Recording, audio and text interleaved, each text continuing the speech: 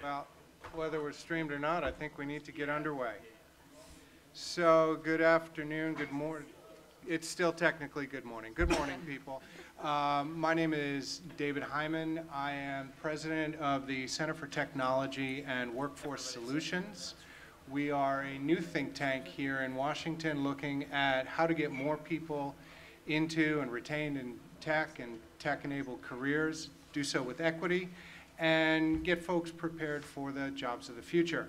And I will be your moderator today for this panel. Um, I would like to briefly uh, but thoroughly introduce each of the panelists and then get right into our talks. And of course, there will be time at the end for some questions from all of you, which we are, I think, universally looking forward to. So, um, Starting at the far end of the table, I'd like to introduce everybody to uh, Tiffany Shackelford.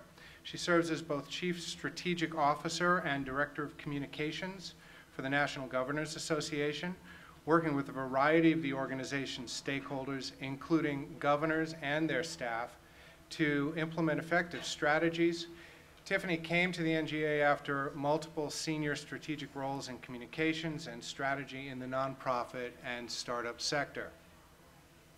Uh, to her right is uh, Dr. Shawn DuBravac. He is the author of the New York Times bestseller, Digital Destiny, How the New Age of Data Will Transform the Way We Work, Live, and Communicate. A very good read. Which explores how the world's mass adoption of digital technologies, portends the beginning of a new era for humanity in the realms of business, healthcare, finance, transportation, and culture. Shawn's also the president and CEO of Avrio Institute, a research institute focused on emerging technologies and their impact on diverse industries. Uh, moving along, uh, next to Shawn, we have Kenneth DeGraff. He's a senior policy advisor to the Speaker of the House, the Honorable Nancy Pelosi, focusing on energy, climate, technology, and science issues. Before joining uh, Leader Pelosi's staff, he was legislative director to Congressman Mike Doyle, who we all heard this morning. Uh, prior to that, he was a policy analyst at Consumer Reports. Uh, next, we have retired U.S. Army Brigadier General Carol Eggert. She's Senior Vice President for Military and Veteran Affairs at Comcast NBC Universal. In this role, she provides strategic leadership to the company's military engagement in hiring, corporate social responsibility efforts, and business development. Carol's military career included many overseas deployments, and she is the recipient of numerous awards and commendations, in recognition of her contributions to the military, including the Legion of Merit, Bronze Star, and Purple Heart. We're not worthy. We're not Indeed. worthy.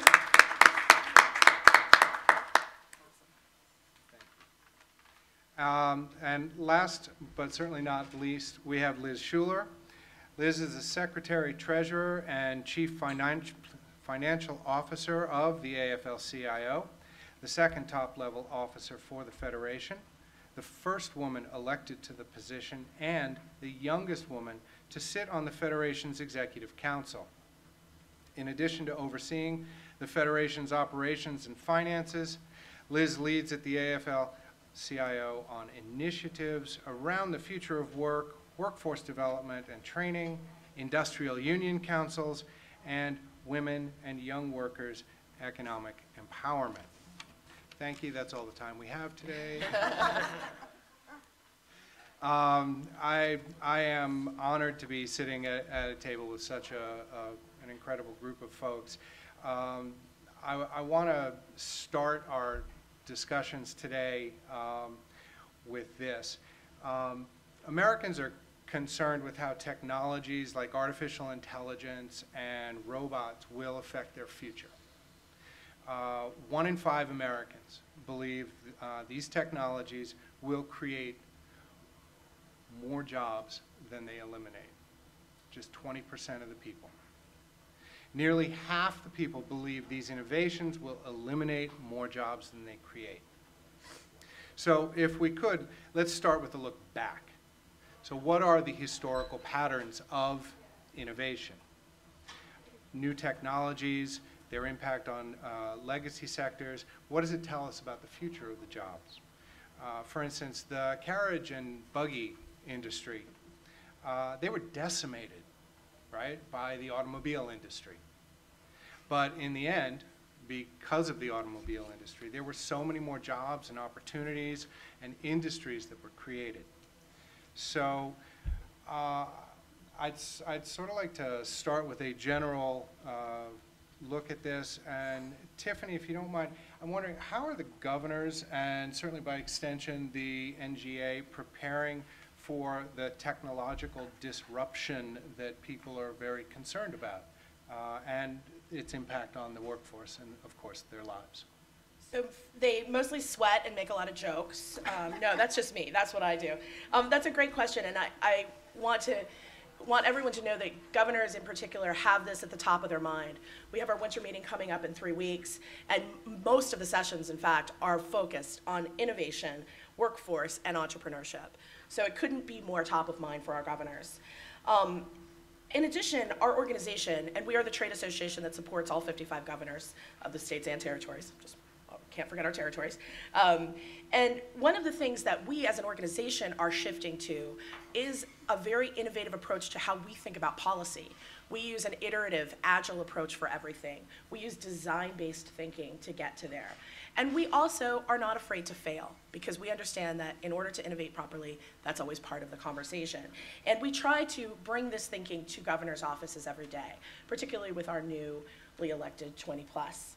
Um, and a couple of, this isn't new for us, actually. We've been dealing with the idea of innovating while governing at the same time for many years. Now, that's a challenge, obviously, as you can imagine. You know, you've got to think about the jobs of today while thinking about the jobs of the future. You've got to assure those left behind that everything is going to be okay while trying to figure out what the future is going to bring. Um, our previous chair, former Governor Sandoval of Nevada, used uh, chairmanship to highlight innovations coming to energy and transportation, for instance um, autonomous vehicles, robotics, and how that will impact jobs in the states. Um, and in 2017, we launched the association's first emerging issues and technologies policy practice. We call it NGA Future. Kind of obvious, I suppose, but that's it. Um, it's a permanent office, and we're really, all that, all that uh, my colleague Tim, who's right here, say hi, um, does is really help governors think through disruption, technology, innovation, and what that is going to do to their states in the immediate future. Um, our current chair, the governor of Montana, Steve Bullock, is using his chairmanship to focus on good jobs for all Americans. And that weaves together questions around rural economic opportunity, equal access to jobs, and also, of course, the future of work and what that really looks like, particularly for Americans who perhaps were forgotten and are not on the coast. Um, I'd also say, just finally, that NGA really advises governors on the way they staff for this challenge. We encourage governors to set up offices of innovation or infuse innovative and entrepreneurial thinking throughout their cabinets. Um, in the last year or so, we've seen a few governors kind of get on board with this. Governor Murphy in New Jersey appointed a chief innovation officer. And the new governor of Maine, Governor Joyce Mills, apparently in a Kerouac fantasy, also uh, put together of a governor, an office of innovation and the future. So we're, we're very excited to see that. We're also, you know, really again encouraging governors. You can't just say, innovate all over the state. That's not going to work. That's not going to be effective. But think about how you can create smaller startups, create smaller pockets of innovation within the state that can really work and what that, what that works. Almost niche innovation, if you will. Find out where you, where you are. One last example, and then I'll zip it up, is um, in Nevada, they needed to get past just being gaming and mining for their economy. They figured out that there was geothermal opportunities. Now they've got deals with Poland, with Queensland, Australia, with their innovative geothermal technology.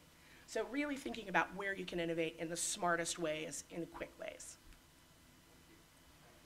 Um, Liz, what roles, what role can the unions play uh, in helping working people manage these effects that are, that are sure to come?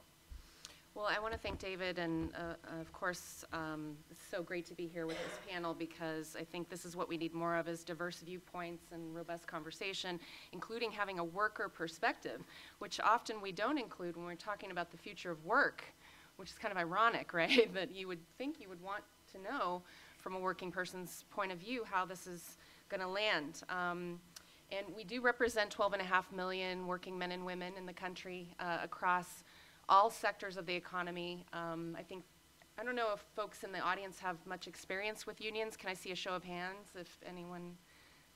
Okay. Probably someone in your family or maybe yourselves.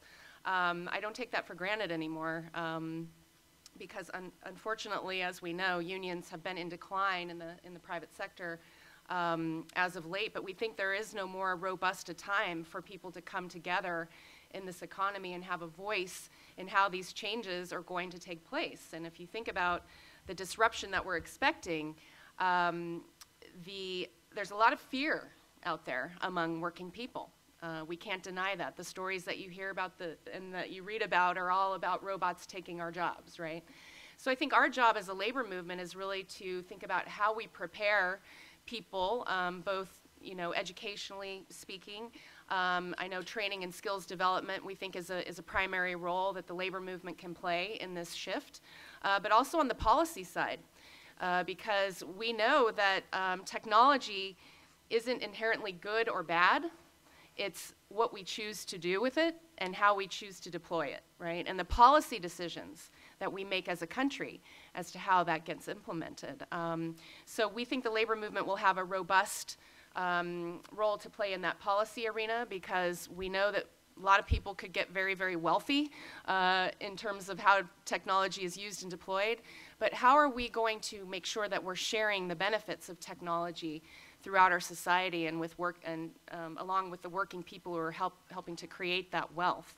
Um, so that's on the policy side, and certainly collective bargaining is the tool we use now with the labor movement where employers and workers come together and you know sit across the table and talk about okay how exactly should technology be used in our work environment? And, and in terms of you know the profits that come about from it and the productivity that you see gained. Um, so workers actually have a voice in that process if you're in a union environment. Unfortunately there are fewer and fewer people in that situation um, where they don't have unions in their workplace. So that's something to think about is in the future, what does that kind of collective voice or collective action look like so that working people um, can have a voice in this process. And then the second piece is, um, as I mentioned, um, talent and how uh, talent is used and upskilled and deployed across sectors. Um, we think it'll be very fluid in the future, right? There's no longer someone just training to be a particular job, showing up in one location for 30 years and then retiring, right?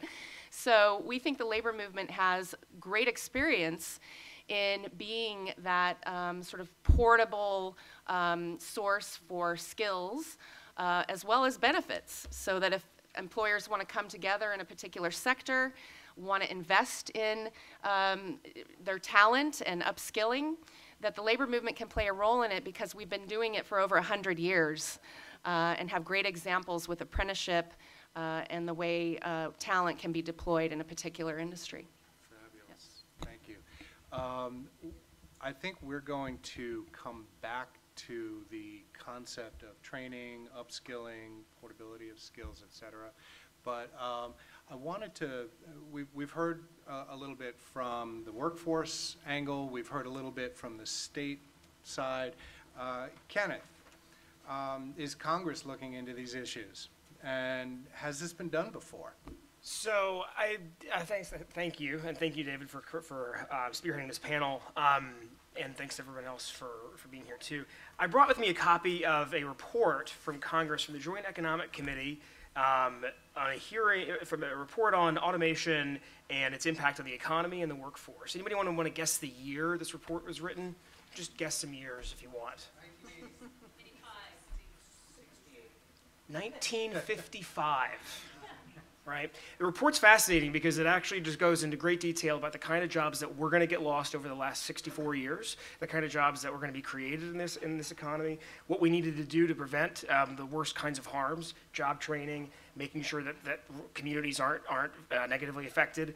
Um, it talks about the danger, about the shortage of scientists and skilled labor, and what we need to do to prevent that. But there's a fascinating quote in here, and I wanted to read it to, so we can get talk about this um, on the panel today. There was a quote that they recognize that some people are going to get screwed over by a transition, right? And that some businesses were so busy as to be, quote, unaware of their responsibility for helping to solve the problems of the person who finds their skills obsoleted overnight. They go into automation's impact on rural communities and small towns, and they say, quote, happily, this indifference to personal hardships was not widespread in the business community.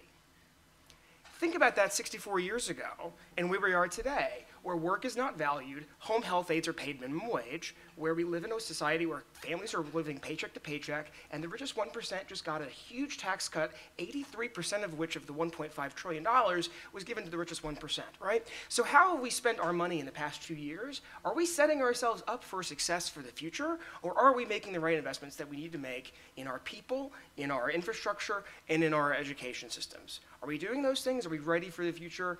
I, I, I would, I would posit that we are not. I would, I look welcome to people challenging that. But I do want to talk about what we're doing in the, in the going forward. Um, I encourage people to take a look at a better deal, uh, tools for the 21st century. House Democrats put together this, this um, and, I, and I won't go into huge detail about it now, but um, we can maybe talk about it a little bit later. There are, we have some big ideas for how we need to invest in our people, our workforce, and our infrastructure, and change some of the big incentives that have, uh, I think, driven the business economy in ways that have been hurtful to working families, right? So there's a short, emphasis on short-term profits, not on long-term growth. We can work on all those things, and we talk about how we're going to do that in that, in that document. Thank you, sir. Um, Carol, you talk about the human piece of this? Well, I'll, I'll start with, first of all, thank you. I think it's quite unusual to have a military perspective at a State of the Net. Um, So I'm just grateful that we thought, hey, let's, let's bring in a military lens on some of this. Um, And I think there's a great misunderstanding, uh, uh, um, a knowledge gap between what the military does in this arena and what the private sector does. Um, The military faces the same challenges that any organization does with acquiring talent. However, it's our national security is at risk if we can't meet those demands now that we have an all-volunteer force. And the military missions have increased in frequency and in complexity and in technolo- technological requirements that I think we still have a narrative of tanks on the battlefield and tents and and infantry marches across the Fulda Gap, and that is no longer the narrative. And then that creates an issue that we're missing an entire talent pool that's out there as we transition from military service. And about 250,000 transition a year. Um, and if you think about the demographics and some of the things we're looking for in our civilian workforce, the military is already doing it. It's a multi-generational workforce. Uh, it requires everyone to be very innovative, technologically uh, educated, and knowledgeable. We have something called new equipment training that is just standard. Who has the biggest budget? Don't yell at me. But it's the DoD, and of course they're always increasing um, their their um, level of technology, and so individuals who serve have to be a knowledge workforce. But I think when they get out, we're missing a lot of talent because less than 1% serve, and so therefore, there is a knowledge gap or a civ mil divide. And so when we get to the private sector, how many of you are actually seeking out that talent and understanding what that talent brings to the workforce? So I think if I would say anything, it's that let's look at military talent. I don't know if you're aware that as we have an all volunteer force, less than uh, about 71% of 17 to 24 year olds do not qualify for the military. They cannot enter the all volunteer force. So, what does that mean? It's due to health, physical fitness, education, and um, criminal or moral violations. So when you do get somebody out of the military, you're getting the best of the best that was able to get in. But if we don't know that, we're thinking people joined the military because they had no other option. And you've got the forever GI Bill, so this is a highly educated workforce. I got my PhD using the GI, GI Bill, and that's not uncommon. But unless our civilian workforce understands that. So that's what it means for all of us in the room. Let's look at that talent. And I'm proud of Comcast that they started a team. I have a team of eight folks reporting to the president because they knew they needed that talent and they needed somebody who understood the military to be able to access that talent and to be able, the greatest challenge though is not accessing the talent, it's educating our civilian managers, hiring managers, supervisors on what that talent brings. Um, how many of you have ever hired a military veteran?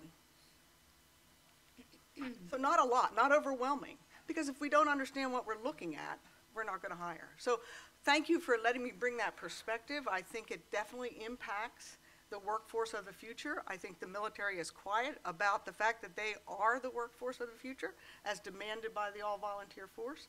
But unless our civilian private sector understands that, we won't be bringing those skills to our workforce.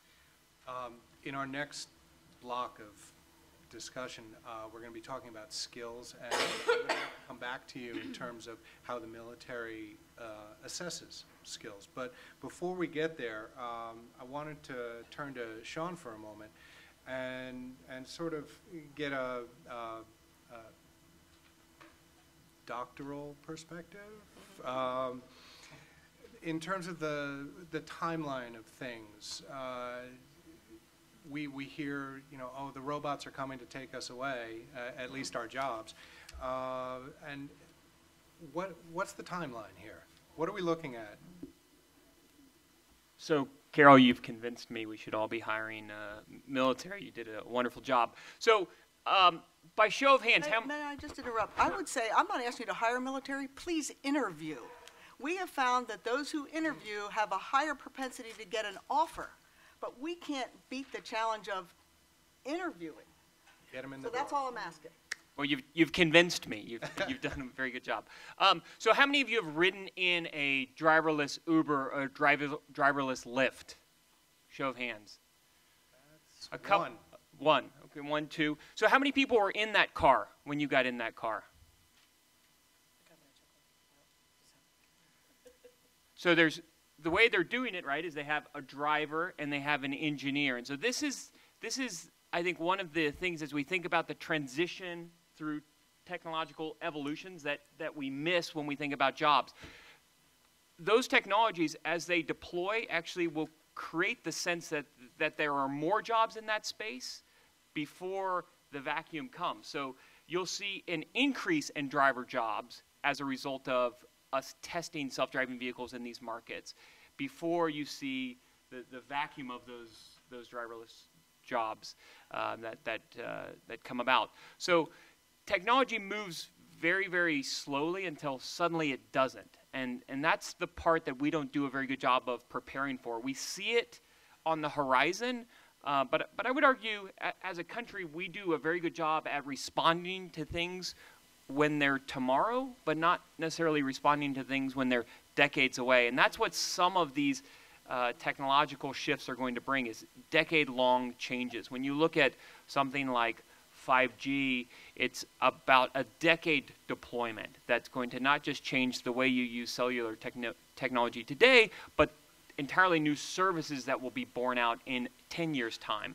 And it's the same with the case with, with automation is it, it percolates and it shows up in small places before uh, inevitably it comes to, to all of us. And, and I think that uh, most industries don't recognize the impact that it will have on them. So if you take, you know, for example, I, I took um, some executives and broadcast around and showed them robot delivery systems. And they say, well, robot delivery systems don't impact my job. We broadcast radio. We don't need to worry about about physically delivering goods. But what robot delivery systems do, what automating that particular piece of the supply chain does, is takes people out of their vehicles. No longer are there delivery trucks coming to your doors, so there's no no drivers in the driver's seats. No longer are you going to the malls to pick things up or to shop. And so, as a result, then it has an impact on these adjacent industries that they weren't weren't ready for. So these technologies, uh, I think sometimes we think about them too narrowly. That would be the second point that I would make. When you think about self-driving cars, for example, we're we're so focused on drivers, but it will have much bigger impact on on other areas than just drivers. Yes, we have you know some three million drivers, professional drivers in in the country, but it's also going to impact disc jockeys. It's going to impact radio executives. It's going to impact all of these other industries uh, that we need to think about. And so uh, we do a very good job at at seeing the first order effects, we do a very poor job at thinking through the second order effects, and that's what we need to, uh, to start thinking about.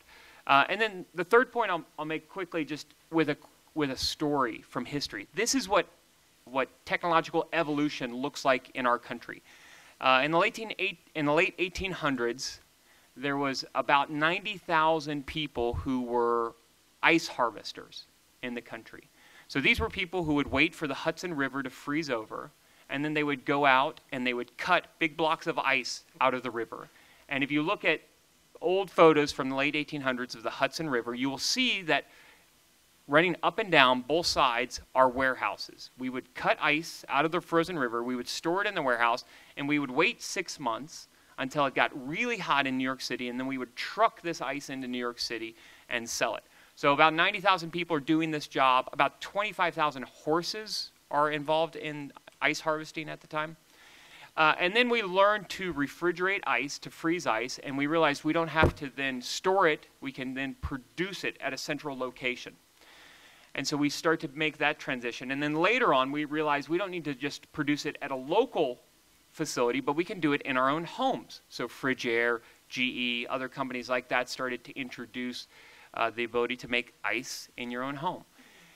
Now, if you think about that transition from ice harvesters to producing it in a central location to the GEs and Frigidaires of the, of the world, none of those companies and none of those people in that transition are the same. It wasn't GE and Frigidaire who were ice harvesting the Hudson River in the late 1800s and then made the transition to what was next and then made it again to bringing it into your home. But it was somebody new who, who showed up. So that's part of this transition that we need to think about is that those individuals are not only learning new skills, but they're also often shifting to new corporate structures, to new companies, to new, uh, to new industries. So it isn't uh, the companies that already exist and own that space that are then innovating typically. It's somebody new who's coming into that space. And so that's a big piece of that transition as well it's interesting that you uh, shape that in terms of transitions because our, our next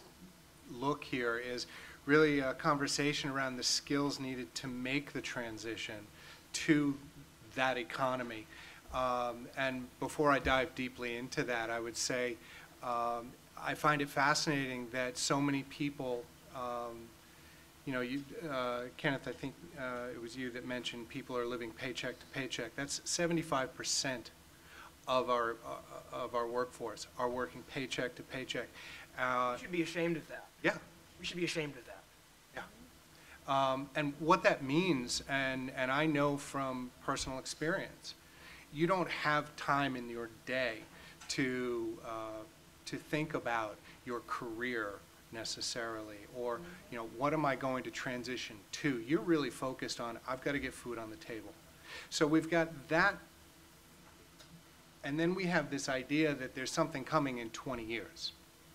And, you know, as, as uh, Shawn was saying, it's really hard for people to wrap their heads around something that is so off in the future, it doesn't affect me yet.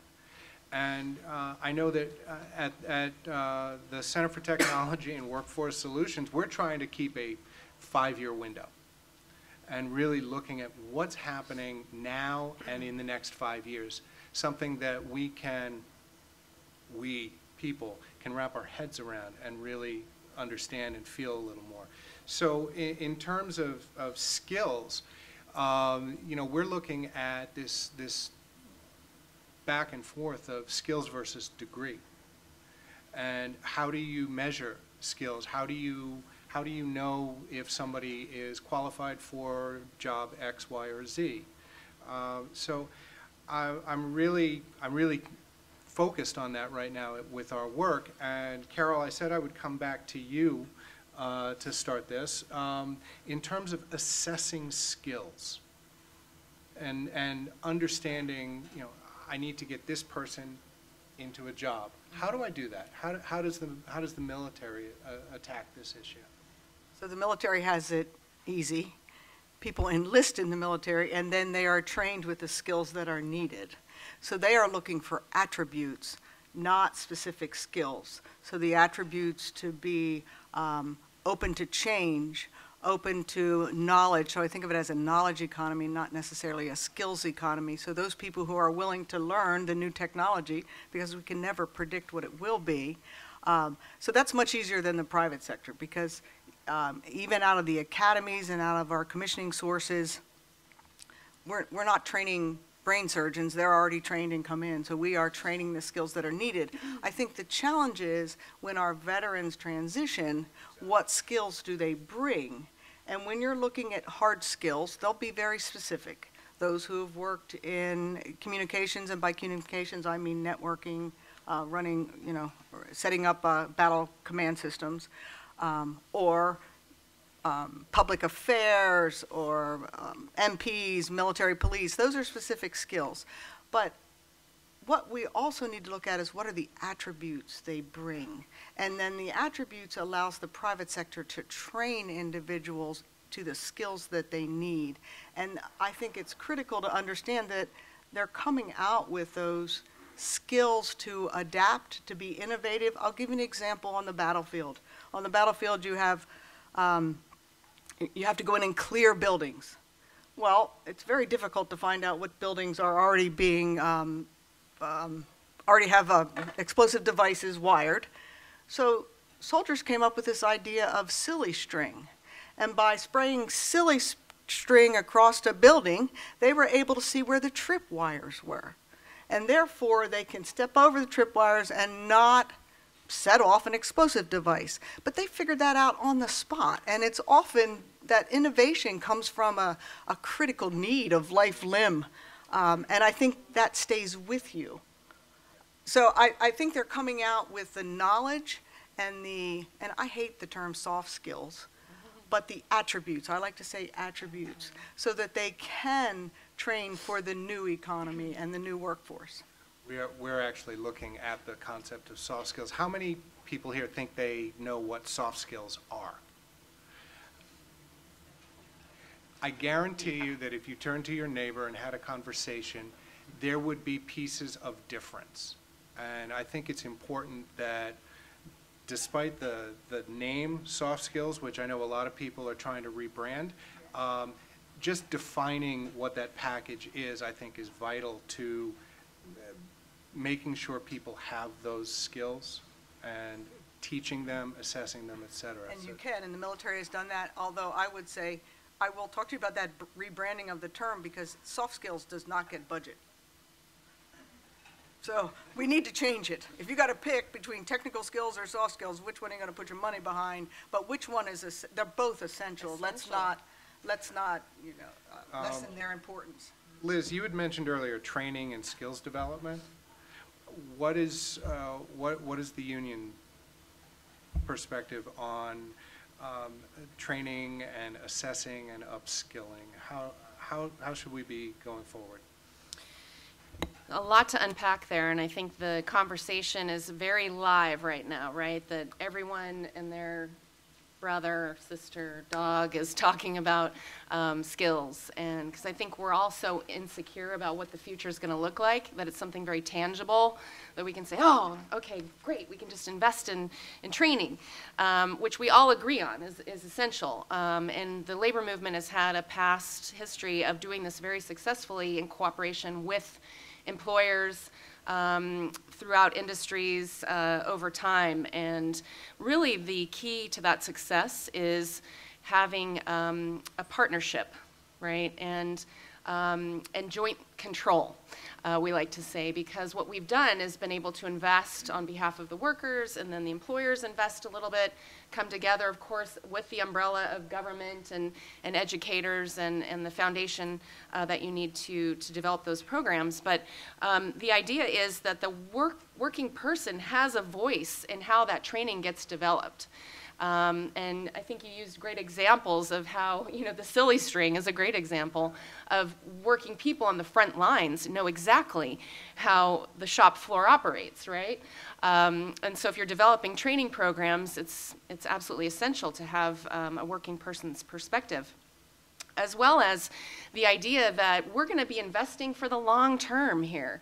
Uh, part of our problem is, is we're so short-term driven um, and companies are looking at their bottom line. They don't want to, you know, of course, training costs are the, are the things they like to cut first. Um, but if we're going to make it and, and see a successful transition, we have to have steady investment. And that's what we've seen in our labor management partnerships over the course of time is the employer knows that in order to have a, an industry or a workforce of the future and, and be able to sustain um, uh, even a profit margin in the future for themselves, that they must invest um, you know, looking beyond just one, two, five years to 10 years, you know, and beyond. Um, but the burden now is being placed on the individual because of the lack of long-term thinking. Um, the employers offloaded the responsibility for training people to the government. The government doesn't necessarily have the adequate investment, right? Um, we have WIOA, but, um, but We're, we're going to ask the government folks about Right. that just now. So now it's the individual taking on that responsibility. And we know the levels of debt that if you go to college these days, on average, people are graduating with $30,000 in debt. Um, and then no prospect of getting a good paying, decent job to help pay off that debt and be able to provide for your family. So, in the model that I'm speaking of, um, in terms of the labor management partnerships that we've seen in industry after industry, and it's not just construction, people like to think of unions as construction. We're talking healthcare, we're talking the hospitality industry, we're talking about all workers now are tech workers, right? And so, um, we, um, we are able to fund an earn while you learn kind of model. Um, it incorporates a lot of work-based learning so that it's classroom uh, instruction along with uh, on-the-job experience. Um, and that then is trained to an industry specification that's recognized across employer so that workers themselves have portability with skills, that they can actually not be just working at a single company, but then be able to move throughout the economy, and that assists with obviously upward mobility and, and opportunity um, for working people. There, there- yeah, Shawn. I mean, David, I think one of the things we miss though when we think about reskilling and and upskilling is that it isn't a, a like a series of skills that can be taught in a single setting and then passed forward. So as we automate routine tasks, we're left with non-routine tasks and non-routine environments. You look at like military applications that Carol could speak to, that's a lot of non-routine tasks and non-routine environments. And that's where you get some of that innovation is because you're dealing with these non-routine environments that you can't just uh, take in a single way and train somebody to do in a single way and then you can run everybody through that course and send them on their way. I think it's one of the reasons why you've seen such an increase in apprenticeships over the last couple of years. And, and because it's a way of gaining that on the job training in a world where we're automating the routine tasks and we're left with these non routine environments. Every big corporation has already been dealing with this. The bigger the corporation, the more specialized the skill set. I would argue moving forward, as we start to automate more routine tasks, you're going to be left with an economy full of specializations. And you already see it in healthcare, and you see it in some of these other sectors. And, and so we need, to, when we think about training, we need to think about training for these specialized tasks. When I talk to tradesmen, whether it's uh, you know pipe fitters or or bricklayers or others, we're we're already automating some of the routine tasks. There are great robots that lay really good brick walls if you want nice straight brick walls. They don't today yet handle corners very well. They don't handle special applications very well. And so the, the future when I talk to bricklayers or to pipe fitters or to uh, tradesmen is that they're going to be doing more specialized skills. And if it's going to come to them, it's going to come to everyone else. I think most in this room probably already see that. And so that's what we need to think about when we're thinking about this idea of upskilling is that it's very specialized skills, even though we talk about it in very general terms.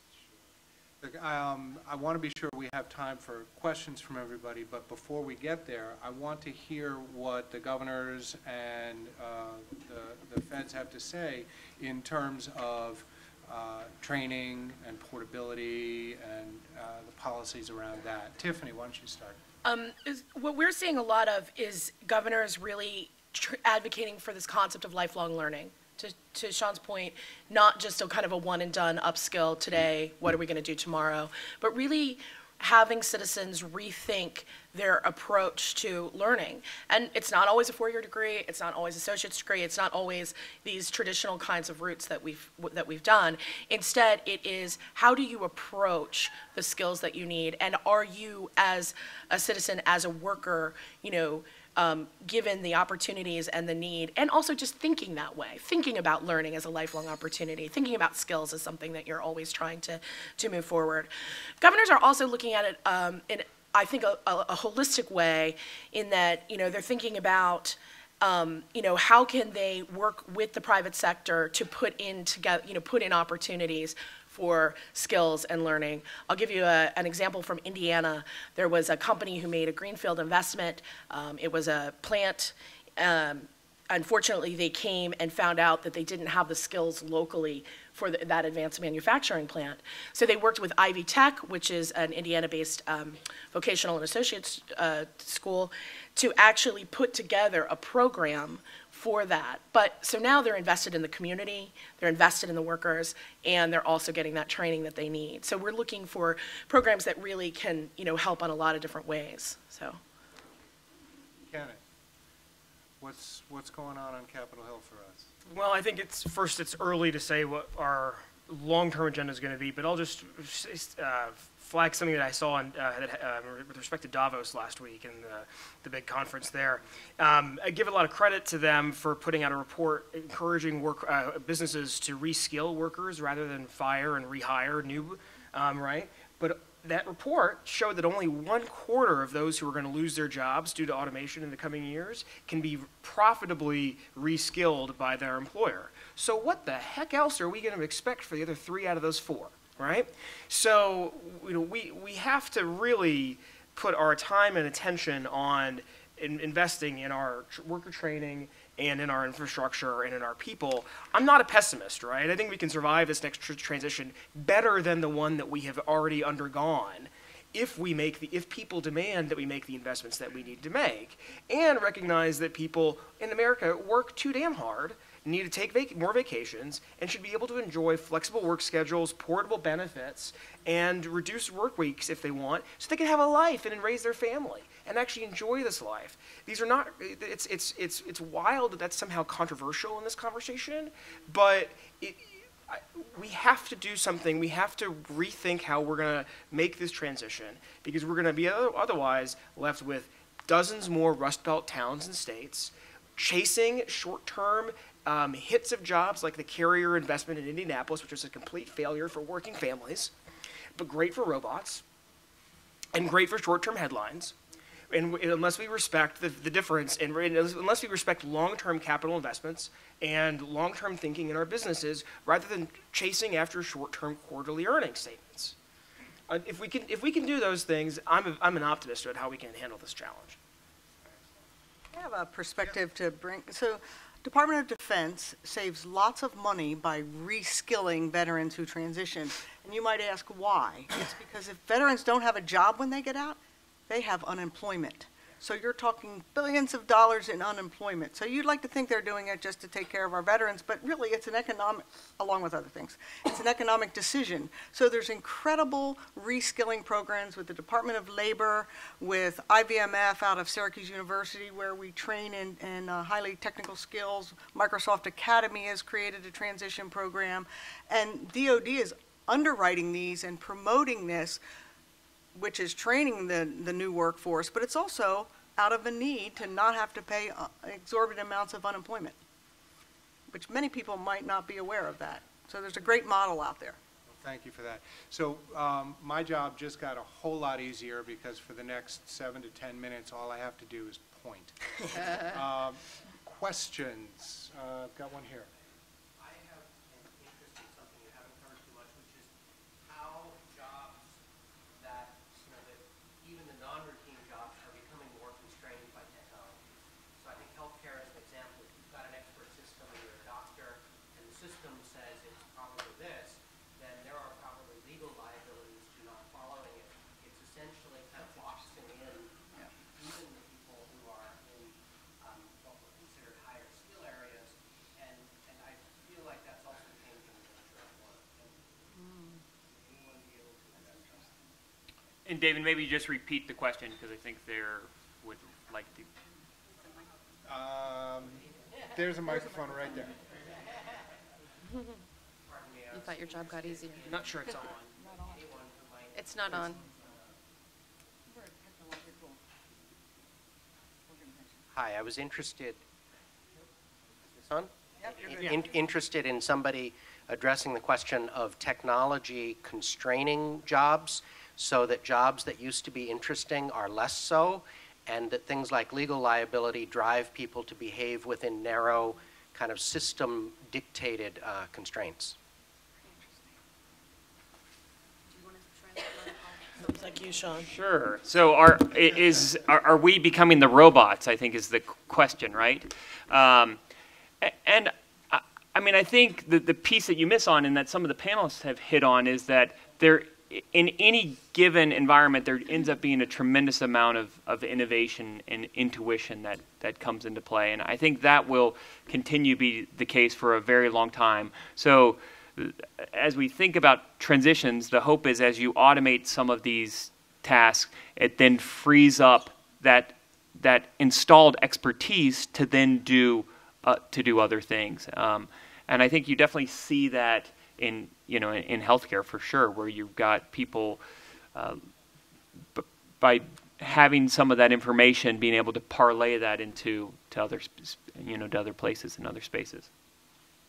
Yeah, um, I'll be on the lookout for some examples of that, but from what we've seen, I, I agree that the goal here is that the technology actually will um, allow, free up humans to actually unleash their creativity and potential in new and different ways and get rid of some of the more routine, you know, boring, dirty jobs that nobody wants to do, right? Um, and we're seeing right now, um, we've got technology introduced in, in workplaces where humans are working alongside a cobot, for example. Um, and um, I think the idea here is that we're going to be working a lot in teams, and that, again, employees or workers have the ability to have enough of a voice at the table to look at how work processes are designed before they're implemented and that we have a voice in that process so that we can flag you know concerns that might be uh, on the horizon whether they be legal liability or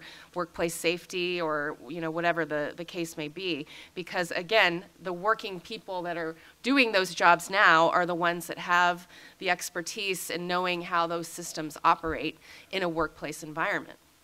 And we have been, I mean, we have been automating pieces of our, our workforce for decades. The first digital computer showed up in 1942, the first hard drive showed up in 1956.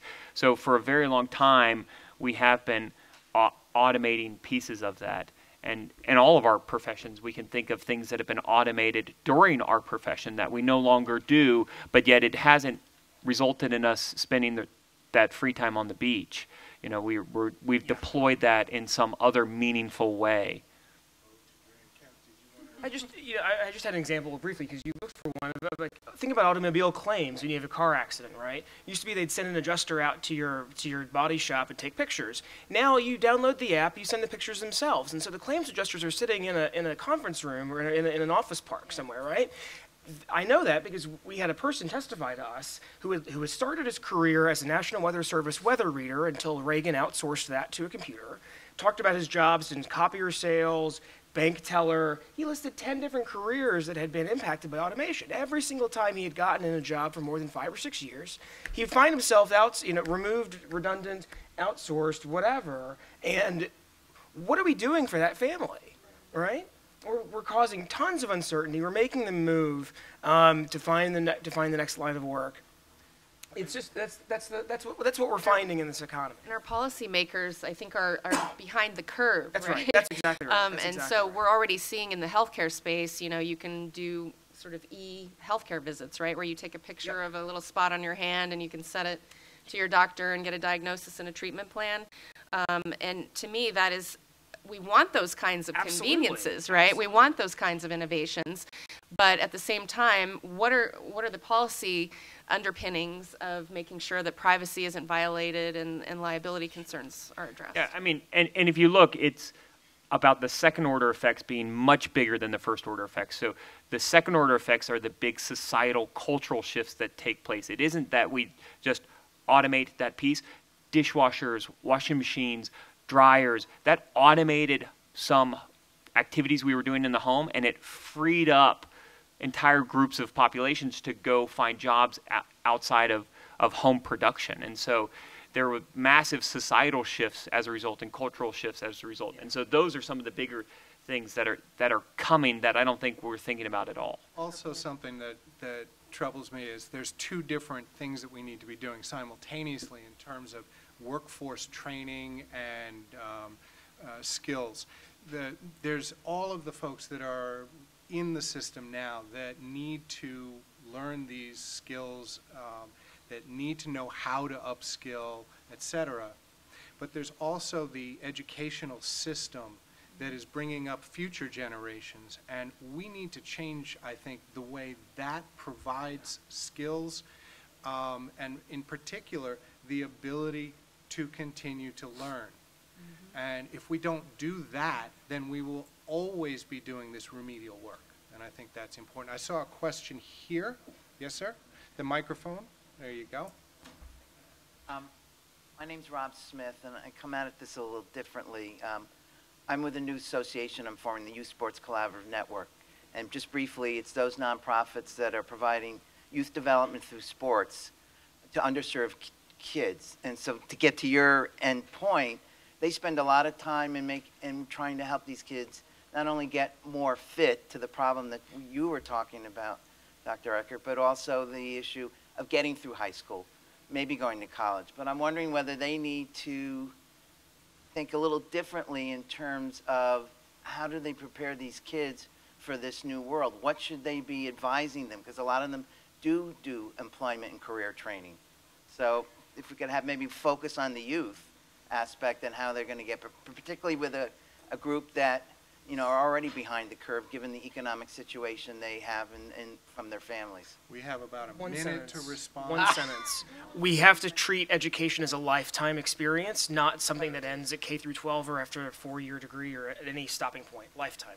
One thing at Comcast, we are working on our um, digital access, digital literacy. So Internet Essentials brings low-cost internet to low-income families, and we just expanded it to low-income veterans because we understand in your type, of situation, it's so multifaceted, and you must include digital literacy and digital access to just about anything you do.